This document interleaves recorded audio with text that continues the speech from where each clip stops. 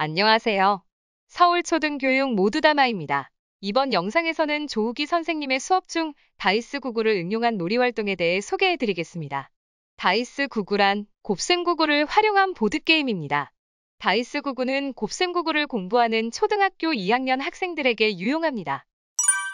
초2 집중학년제 예산 활용하기 한 세트만 구입해서 활용하기 학생들 수만큼 구입하기에는 예산이 많이 필요합니다. 한 세트만 구입해서 방법을 익히고 다 함께 쓸 수 있는 방향으로 활용하면 좋습니다. 이 영상에서는 다이스 구구를 구입하지 않아도 한 세트만 있어도 학급 모두가 할 수 있는 방법을 소개합니다. 먼저 준비물을 살펴보겠습니다. 다이스 구구 보드게임을 구입하면 사진처럼 준비물이 구성되어 있습니다. 이 놀이의 핵심은 바로 0부터 9까지의 숫자가 적혀 있는 카드와 12면체 주사위입니다. 한 세트를 구입하셨더라도 카드가 55장밖에 들어있지 않아 학급 모두가 사용하기에는 어렵습니다. 그래서 카드는 간단하게 출력 후 코팅해서 활용하시면 됩니다. 카드 도안은 영상 아래에서 다운 가능하니 다운받으셔서 활용하시기 바랍니다.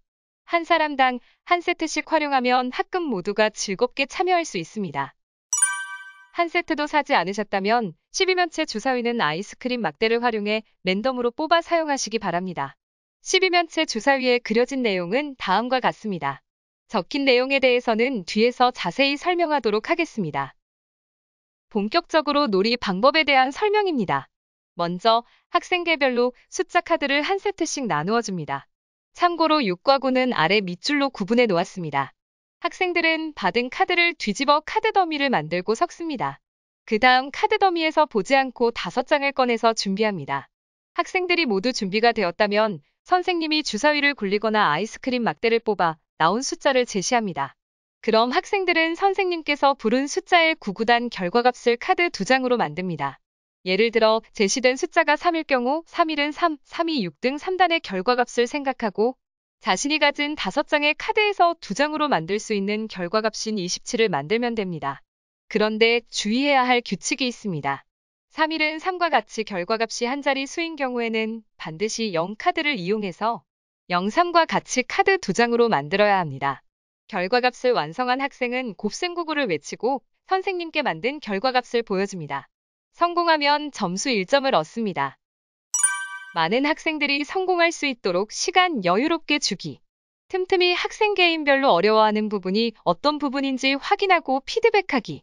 학습지를 활용하여 곱셈식 쓰기 연습도 할 수 있습니다. 학습지는 영상 아래에서 다운 가능하니 다운받으셔서 활용하시기 바랍니다. 점수를 얻은 사람은 사용한 카드 두 장을 더미에 넣고 새로운 카드 두 장을 준비합니다. 똑같은 방식으로 10라운드를 진행합니다. 10라운드가 끝나고 점수가 높은 학생이 승리합니다. 놀이를 진행할수록 실력 차이 때문에 흥미를 잃는 경우 오늘의 점수 활용하기 오늘의 점수란 점수가 높은 사람이 이기는 것이 아니라 선생님이 정한 점수인 사람이 승리합니다. 놀이를 시작하기 전 칠판의 기준 점수를 비밀로 써둡니다. 놀이가 끝나고 오늘의 점수를 공개하여 해당 점수인 사람이 승리하도록 합니다. 놀이를 더 즐겁게 해주는 추가 규칙들입니다. 카드에서 추가 규칙은 별이 그려져 있는 조커 카드입니다. 이 조커 카드는 원하는 숫자로 마음대로 사용할 수 있습니다. 주사위에서 추가 규칙은 숫자 이외의 표시들입니다.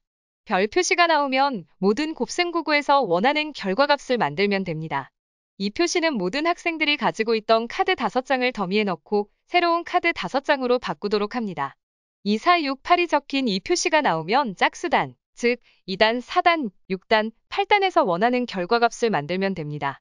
이와 비슷하게 3, 5, 7, 9가 적힌 이 표시는 홀수단에서 원하는 결과값을 만들면 됩니다. 마지막으로 이번 놀이에 대한 꿀팁들입니다. 첫째, 교사가 주도적으로 진행하는 학급 전체 활동으로 먼저 활용하기. 학생들 모든 활동으로 진행하는 경우 학생들의 학습 수준을 관찰하기 어렵습니다.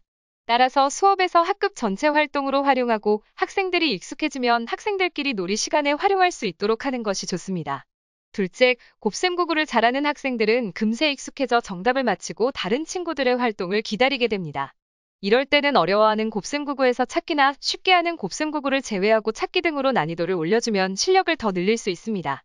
학생들이 대부분 7단을 많이 어려워하므로 7단에서 찾기로 난이도를 올려줄 수도 있고 반대로 학생들이 쉽고 금방 찾는 2단과 5단의 결과값을 제외하고 만들도록 난이도를 올려줄 수도 있습니다. 지금까지 조우기 선생님의 수업 중 다이스 구글을 응용한 놀이활동에 대해 알아보았습니다. 수업에 활용해 보시고 혹이나 새로 추가하면 좋을 팁 등 자유롭게 댓글에 남겨주시기 바랍니다.